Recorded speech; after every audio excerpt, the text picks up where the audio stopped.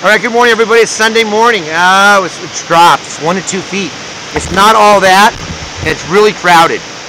But there's some fun ones. You know, the tide's just turned right now. It's starting to come up, so we're getting some push. I had lots of fun out there today. Definitely. It's overcast skies. We have a lot of wind coming, too. So kite surfers, get ready.